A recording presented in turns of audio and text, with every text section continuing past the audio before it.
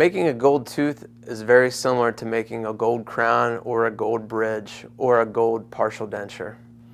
They are all fabricated exactly the same way. It's just an issue of who does it, where it gets sent, and how it gets processed. The dentist will start uh, after he's diagnosed that gold will be necessary to fix a tooth. He will prep the tooth down to make adequate room for gold to be fitted over the top of the tooth. In order to do that, he will again prep the tooth and he'll also take an impression or a, a mold of, of that tooth that will receive the gold. Once the impression has been taken, the impression there will be sent off to a dental laboratory. At these dental laboratories, they will actually be the ones constructing the gold tooth.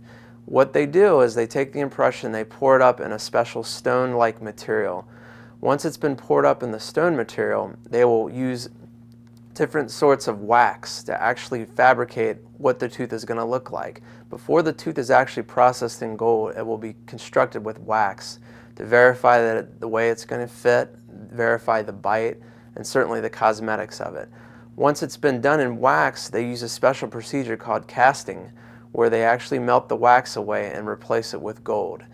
At that point, the laboratory makes a decision on how they, how they will fit the gold as well as what kind of gold with gold crowns, there's lots of different sorts of metals that are incorporated in with the gold. And the lab will oftentimes make the determination of what will go in that.